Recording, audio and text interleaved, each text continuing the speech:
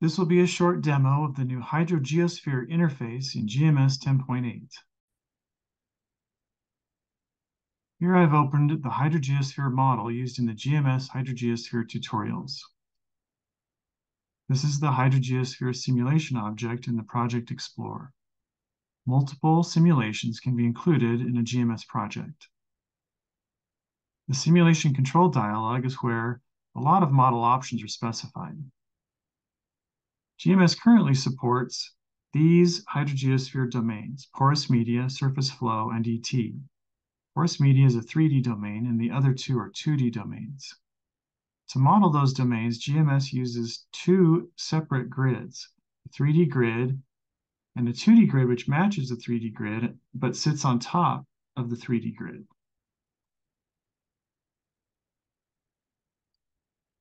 Material properties are specified in the materials dialog. Materials are defined on the left side of the dialog and associated with a domain and one or more zones. And the material properties are specified on the right. Zones are defined by GMS using datasets on the grids.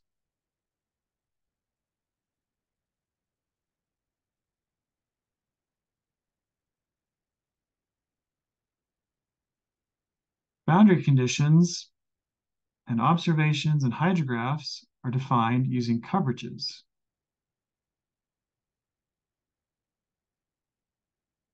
For example, this model includes four wells which are modeled using a flux nodal boundary condition. Double-clicking the well point opens the point properties window where the boundary condition properties can be edited.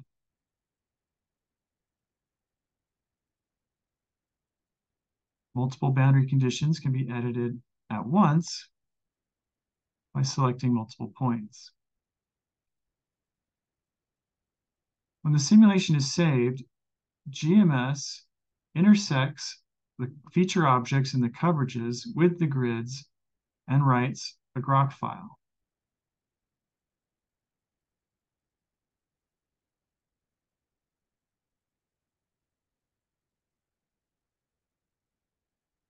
Let's take a look at the grok file.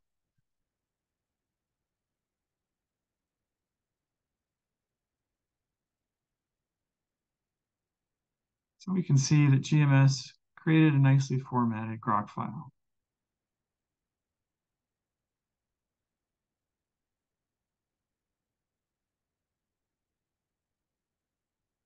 After the simulation is saved, the next step is to run grok to prepare the model input files.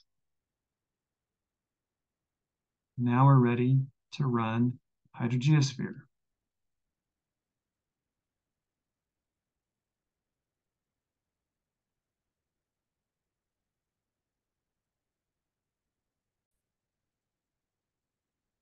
All right, we've skipped ahead to the end of the model run.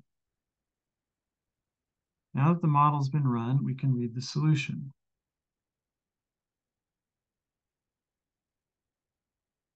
The solution consists of several 3D and 2D data sets and solution plots. The 3D data sets come in under the 3D grid. Likewise, the 2D data sets are read in under the 2D grid. Let's turn the grids back on and contour the data sets. Some of the data sets are cell-based and some are point-based, and some are vector data sets.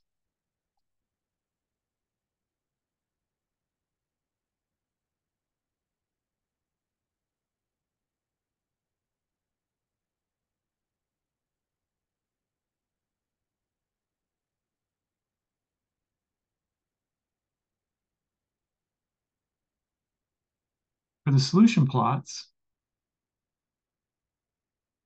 we can open up the solution plots window and take a look at the various plots that were generated by HydroGeosphere. Multiple plots can be displayed at once. and plot data can be found in the plot data dialog.